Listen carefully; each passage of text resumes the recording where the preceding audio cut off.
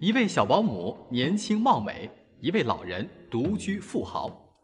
此时此刻，李家三姐弟终于着急了，他们担心老爷子一时冲动，真的把财产给了那个别有所图的小保姆。而现在呢，事已至此，他们又无计可施。而就在此时，他们最担心的事情，还是发生了。我今天找你们回来啊，是有事情要通知你们。爸爸也老了，什么事情也不能亲力亲为了，自己也孤独了这么多年，也该想想晚年的幸福了。爸，你想明白了？哎呦，太好了！这唐阿姨呀，还等您信儿呢。哎，她要是知道啊，一定特别开心。我也没说跟你唐阿姨结婚呢。那这小杨。过来一下来，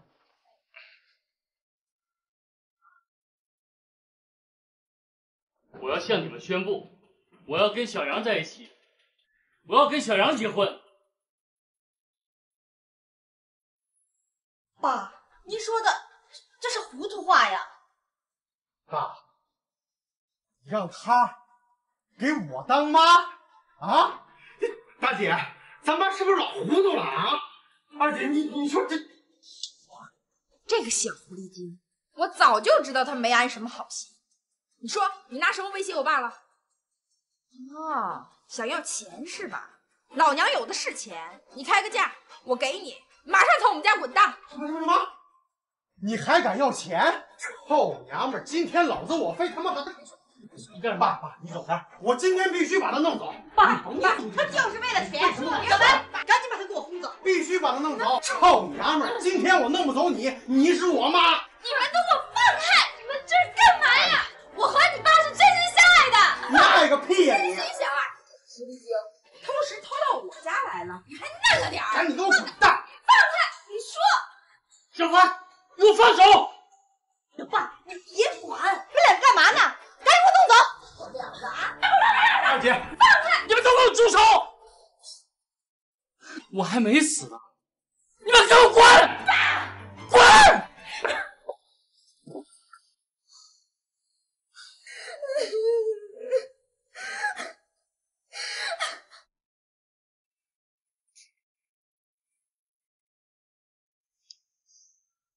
挺好的一件事，被这帮兔崽们一闹，这都变成什么了？我知道你受委屈了啊，李叔，我只要能跟你在一起，我受再大的委屈也不怕。可是，我怕他们老这么折腾，您这岁数也大了，您身体也受不了呀。我是心疼您的身体。我这身体啊还行，我这把老骨头还算结实，但是我毕竟比你大了这么多，我呀肯定会走到你前面的。别这么说，李叔，多不吉利呀！哎，小杨啊，你等着，我有一件东西要送给你。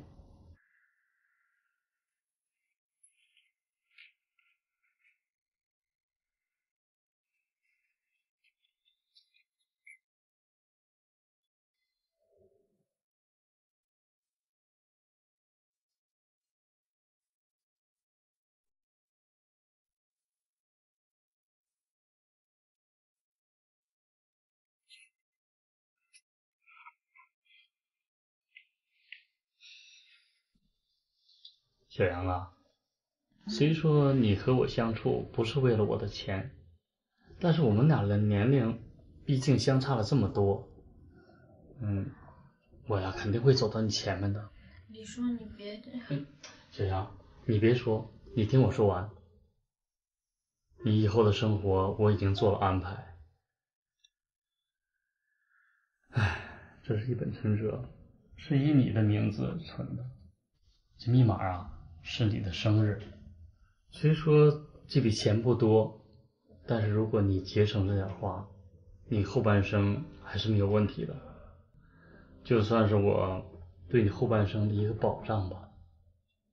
过两天呢，我们俩就去领结婚证，顺便呢把财产公证一下，把这栋房子变成咱们俩的名字，这样你就有了一个家，他们谁都撵不走你了。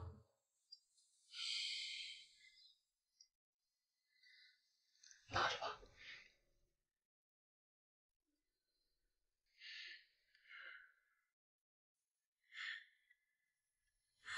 李叔，从来没有人对我这么好过，只有你对我最好了。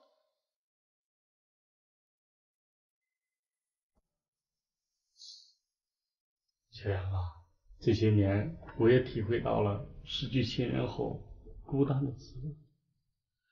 可是我自从遇见你啊，我的心灵不再孤单了。你给了我很多的快乐，这钱财呀，乃身外之物，它生不带来，死不带去。哎，只要你过得幸福，就是李叔最大的心愿。李叔，我爱你。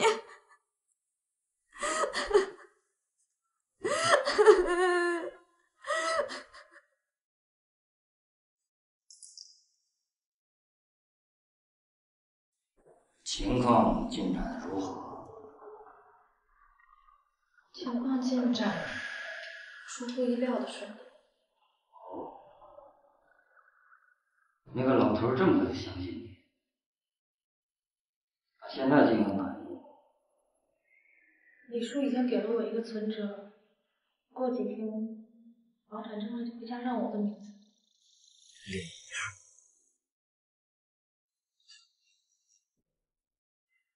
讲的挺亲呢，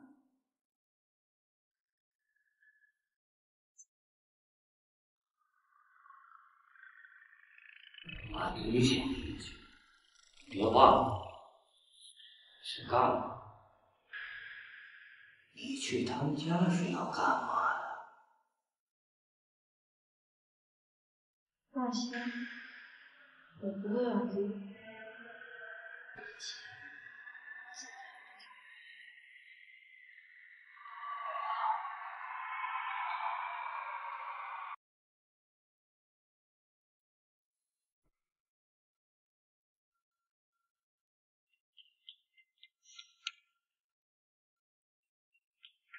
你们想干嘛？想干嘛？我们想干嘛？你说我们想干嘛？臭婊子想跟我爸结婚，没那么容易。你不是想当我妈吗？啊！我今儿就看看你怎么当这妈。我告诉你啊，小白，李叔可在上面。怎么着？啊？李叔，你这李叔，我让你理，我我让你理，我让你。二姐，快快！你让去勾引我爸，让你给我打，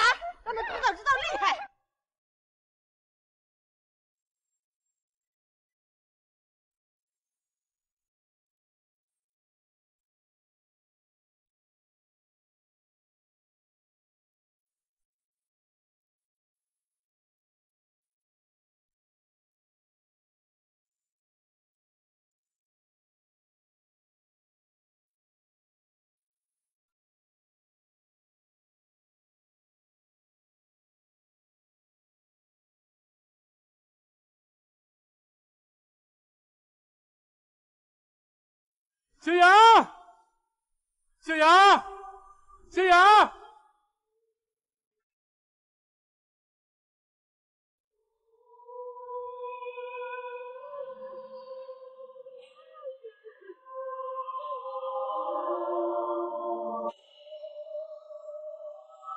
小杨，小杨。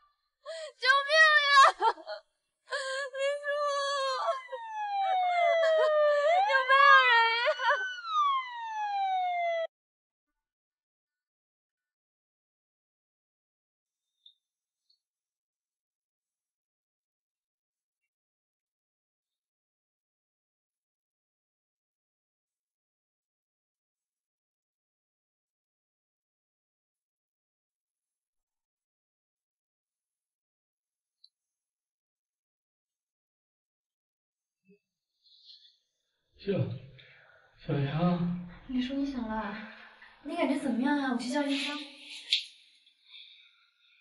小杨啊，你的头怎么的了？是不是我那几个不争气的孩子给你，他们欺负你了？没有没有，是我自己不小心摔的，你就别操心了，好好养病吧。怎么可能啊？怎么可能摔成这样子？你到我这里受了这么多的委屈，李叔打心里过意不去，都是李叔不好啊，连我的小杨都保护不了，李叔不能啊！小杨啊，你再也不去不接李叔的电话了。谢李叔，我不是故意的，我不应该让你着急。如果不是我，你也不会这样。小杨，李叔看要是不行了。叔，您会没事的，医生已经说了，您只是心脏病突发，你过几天就可以出院了，没事的。你说自己的身体，你说自己知道吗？我，我怕是挺不过去这一关了。你别这么说，您平时身体不是挺好的吗？您一定能挺过去的。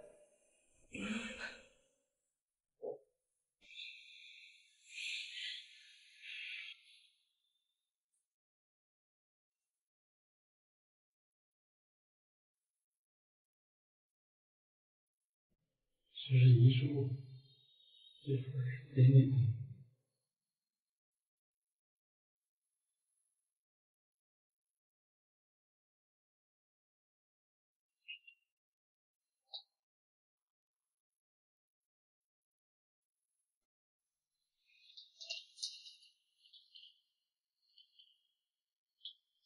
你说我能为你做什么？这些李叔能够做的最大的努力，你正是版本了，在律师那儿已经备案了，也做了公证。那李叔过去以后，这个遗嘱就生效了。李叔，我不能要。小杨啊，你以后要多学习文化知识，走正道。我不能要李叔，我不能要李叔。好孩子，这事儿就这么定了。李叔在九泉之下，也能够心安。好吧，什么都别说了。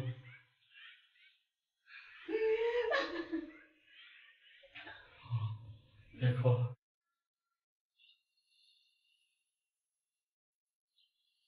好孩子，乖。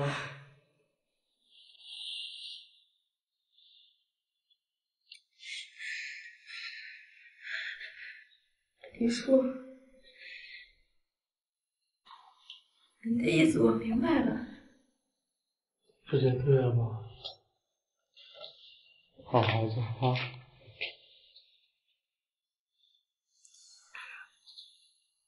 你得好好休息，去给你倒壶水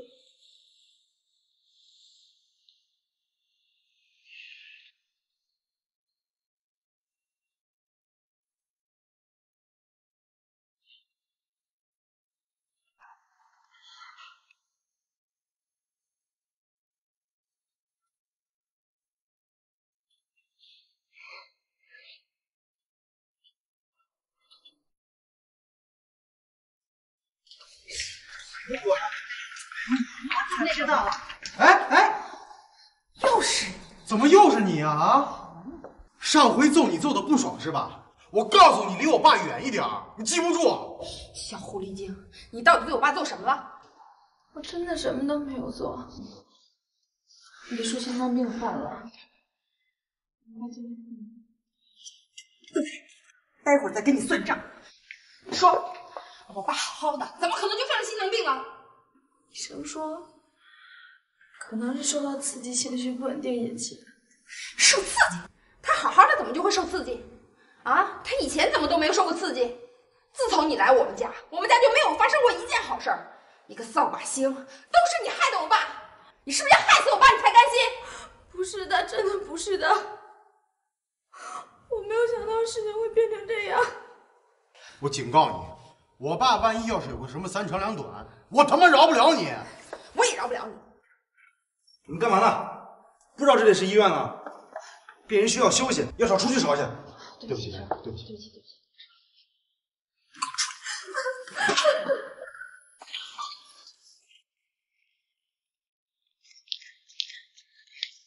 你给我听清楚了，你离我爸远一点。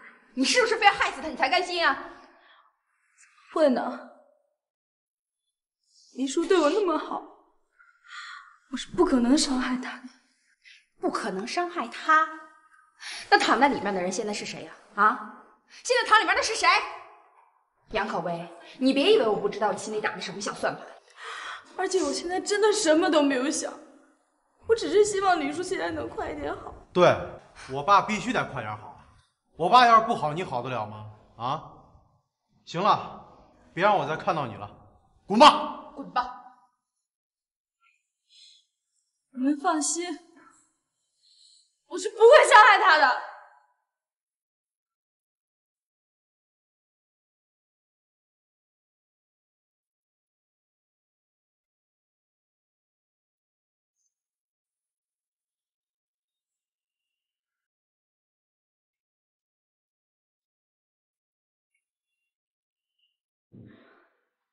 我不干了。什么？你再给我说一遍。你没听清楚吗？我说我不干了。眼看着钱就到手了，你居然敢跟我说你不干了？到底想干嘛？你不要再威胁我了，我是不可能再像以前一样任你摆布了。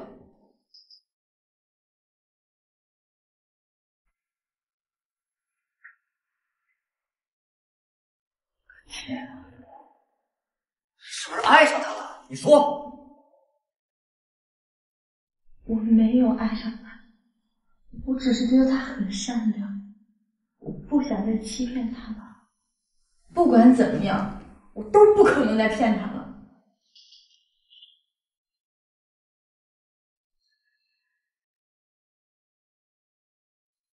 这老东西给了你什么好处？你这么替他说话，什么都没有就算他给我，我也不会要。雅君，咱俩在一起这么多年，我不怕苦，也不怕累，我更不怕没有钱的日子。那都是因为我爱你啊。可是，自从咱俩结婚以后，你说你干过一件正经事儿吗？你不是出去赌，就是出去骗。到现在，你还拉上我去干这种伤天害理的事儿，海军，知道吗？每天早上一睁开眼睛，我就害怕你会永远的离开我。这种担惊害怕的日子，我受够了。雅君，你醒醒吧，天上是不会掉馅饼的，再这样下去我们会坐牢的。现在来得及。雅君，我求求你了，我们不要再干了，我们去一个没有人认识我们的地方，找一份工作，好好努力。我相信日子一定会好起来的，雅君。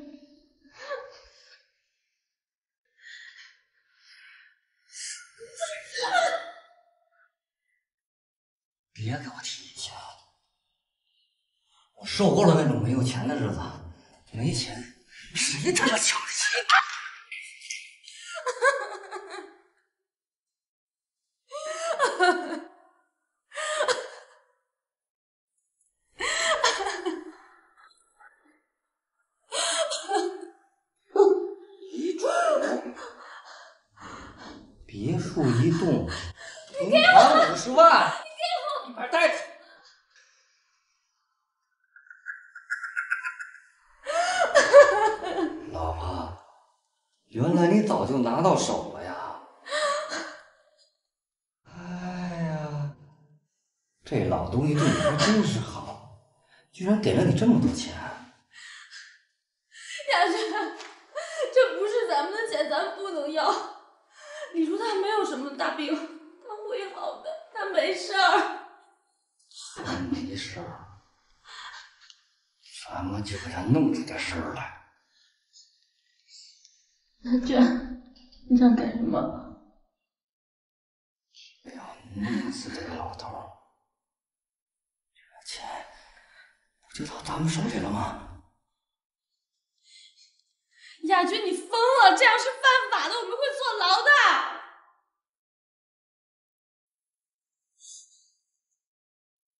犯法？不犯法，咱们能有钱吗？你放心，这件事天知地知，你知我知，不会有人知道的。最容易下手，我早就准备好了。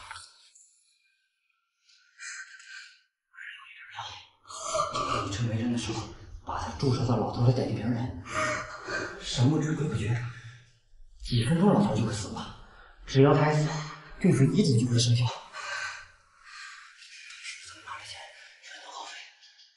找个地方，我和你好好的过日子。这些年我欠你的，我都会加倍的补偿给你。大军，我是不会跟你一起杀人的。李淑丹是个好人。不管怎么样，我都不会去伤害他的。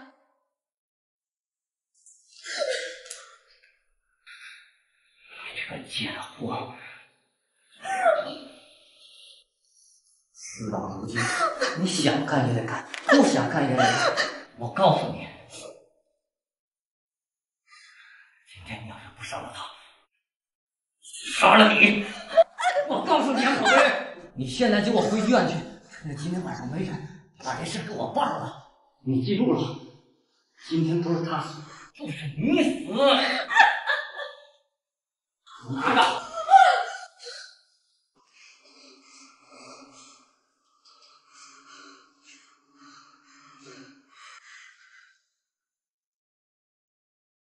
原来那名幕后的男子正是杨可薇的男朋友，曾经的他们也是本分做人、本分工作，生活还算幸福。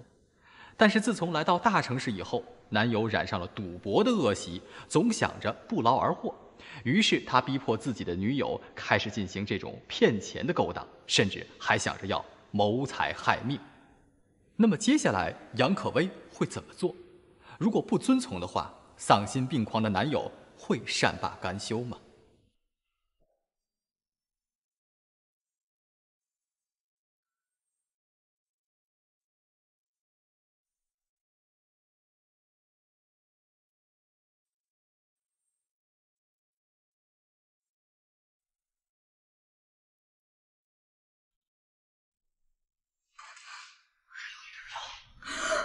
趁没人的时候，把他注射到老头的点滴瓶里，神不知鬼不觉，几分钟老头就会死了。到时咱们拿着钱全都耗费，找个地方我和你好好的过日子。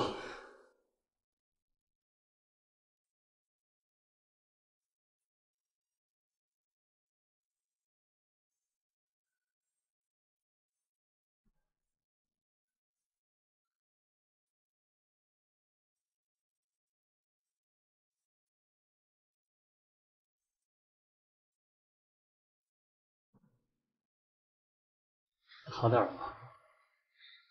说这是啊，大米粥啊。哎呀，当有病的时候啊，我喝上一碗，就立马就好了。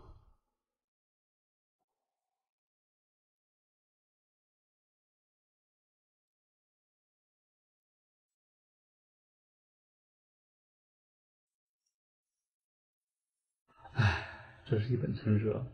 是以你的名字存，这密码啊是你的生日。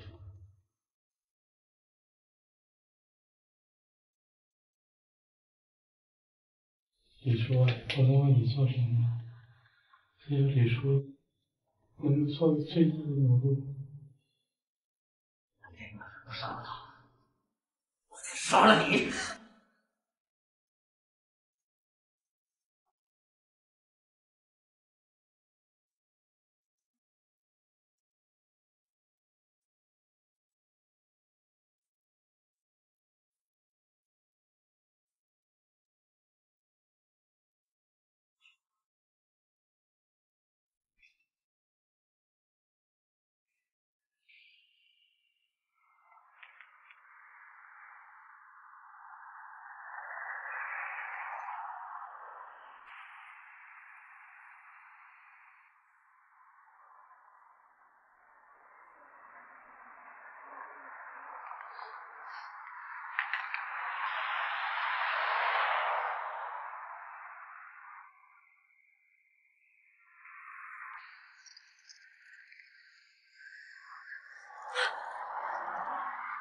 亚军，我我早就知道你会这么做的，贱货！亚军，我求求你不要伤害他，李叔是个好人，我求求不要伤害他。好人，这世界上好人多了去了。你既然想当你的好人，那你就当你的好人吧。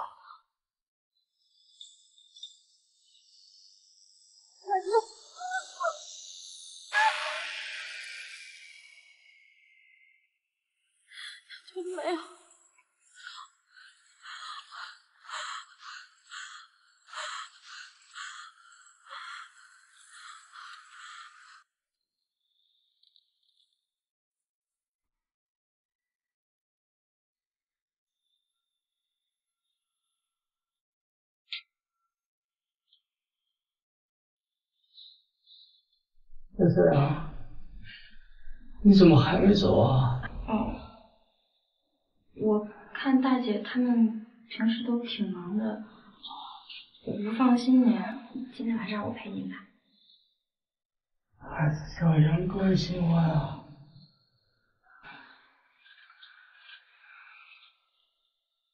小杨，嗯，你看我是一病啊，你病的辛苦了。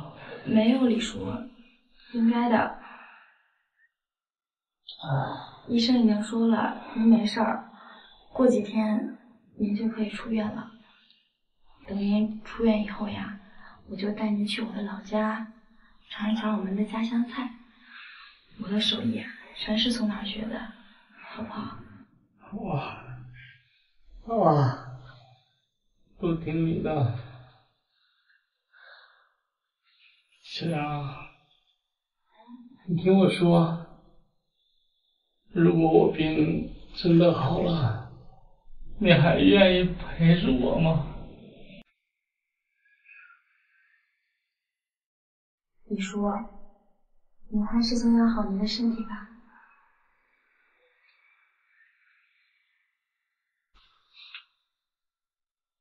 李叔，你先躺会儿，我去给您打盆热水洗洗脸。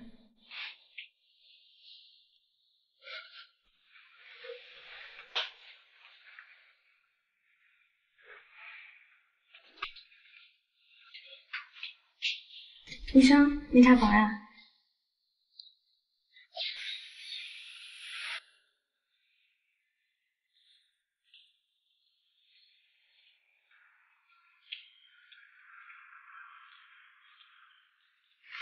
医生，你查房呀？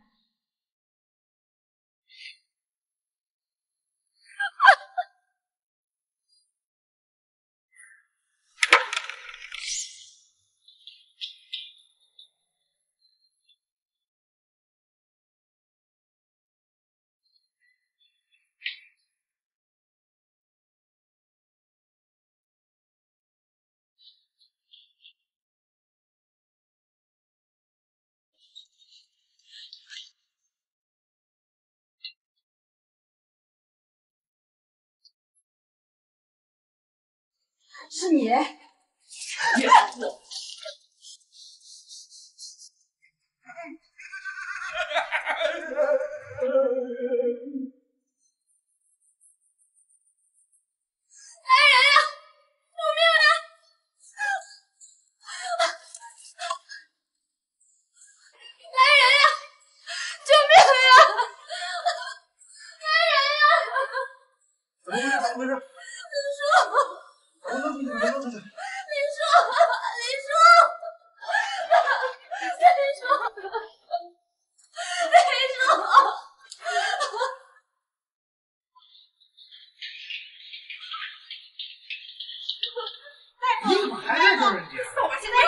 你赶紧走！吵什么吵？吵什么吵？吵什么？不知道里面正在抢救呢。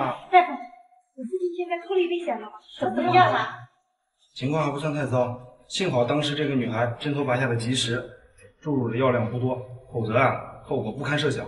医生，那我父亲什么时候能醒过来呀？我们目前正在全力抢救，但是我们不敢保证能够抢救成功。拜托你了，求求你一定要把他救醒。我们只能尽力，只能尽力，好吧？不许再吵了啊！谢谢你，大夫。大夫，谢谢你，大夫。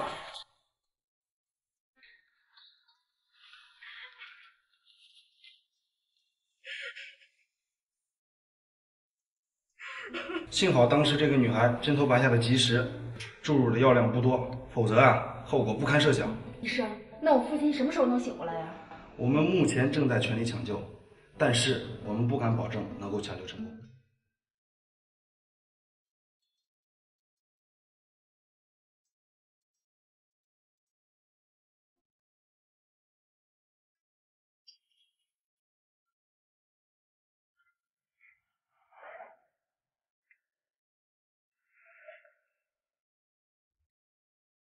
今天呢，我把你们大家都召集回来，是因为我要感谢小杨，因为他救了我一命，也感谢他这段时间在家里关心照顾我。另外呢，还有一件事，小杨要亲自和大家说，你说吧。今天也许是我最后一次坐在这里。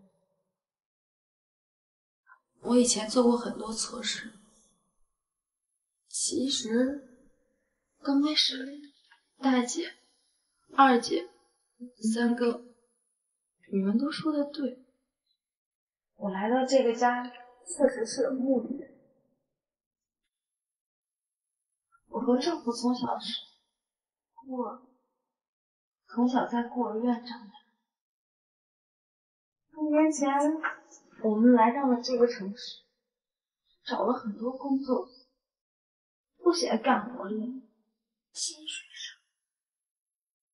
是，他又想了一个办法，让我去有钱人家做保姆，骗点钱，然后我们就回老家盖一栋房子，好好过日子。刚开始我不同意，于是他就打我、骂我。他说只干一次。后来我实在经不住他的拳脚打踢，他就同意了。李叔真的是个好人，对我也很好。当时我看大姐、二姐。三哥，你们都不在家，李叔总是一个人，于是我就装着对他好，照顾他，让他信任我，挑拨你们和李叔之间的关系，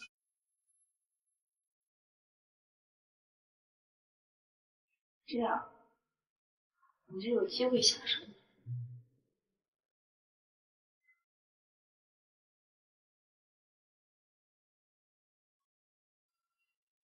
可是后来，我慢慢的感觉到了家的温暖，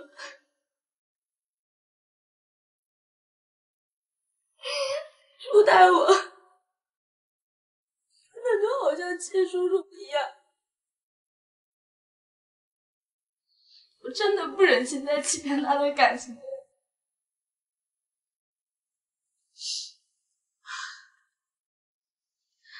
后来在病床上，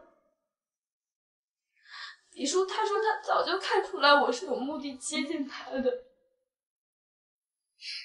虽然这样，他还是留了一份财产给我。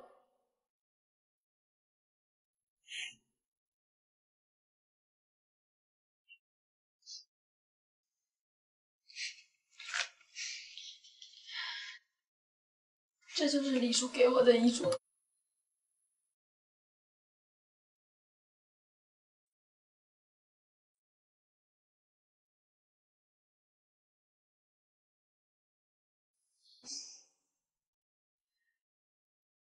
李叔。这不是我的我不能要我是个坏女人。差点就害死你。李叔，我对不起你，我也对不起大家。那今天出了这个门，我就去自首。李叔，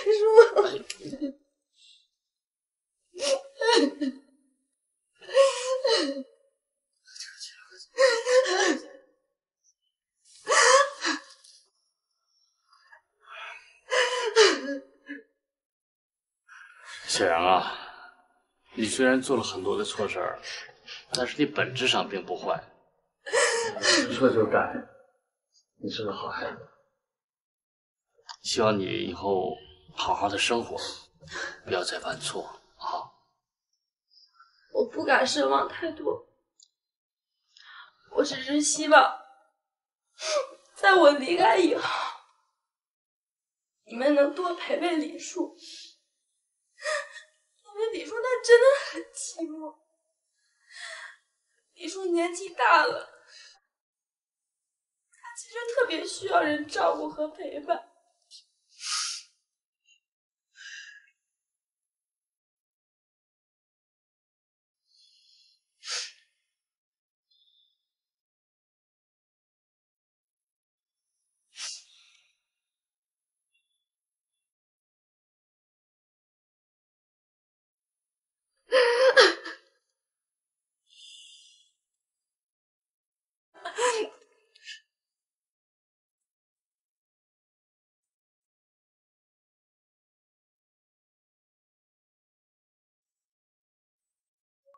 小